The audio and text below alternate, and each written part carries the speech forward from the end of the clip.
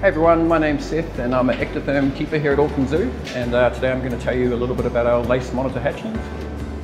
I'm looking for them in a hibernaculum, which is uh, basically a box we've got hidden underground just to uh, hold a stable temperature and retain a bit of humidity for them. They can uh, get in and out of that as they need to. Come on little dude.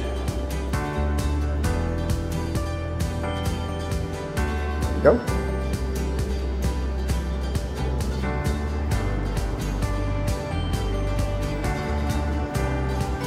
So far we have five that have hatched out here at Auckland Zoo. Um, they hatched out of an incubation period of about seven months. It takes about seven to nine months to incubate them, it's quite a long incubation period. It's never a sure thing until the eggs actually hatch, so we're really happy to have five newborns here at Auckland Zoo. Um, we need to keep them nice and warm basically because they're ectothermic, so they regulate their body temperature by using their surroundings. So we need to keep them nice and warm. So uh, at the moment we're keeping these guys in a smaller enclosure just to make sure that we get them feeding and uh, doing well to begin with and then we'll uh, upgrade them to a slightly larger environment.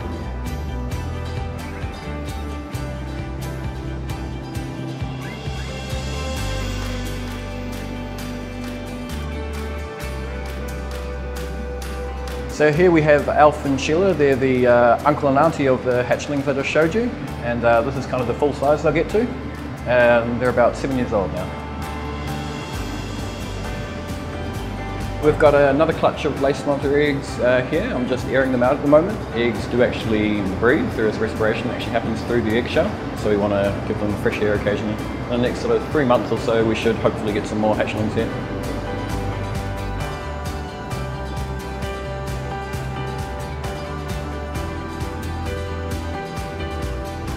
Uh, so I don't think lace monitors have ever been bred in New Zealand before. These are the first that have ever been hatched here at the zoo. So basically these guys, we are going to handle them a lot. We're going to work with them hands-on, and uh, that means that as they grow, they should be nice and used to people, which uh, will lead to a stress-free life for them and hopefully for us as well.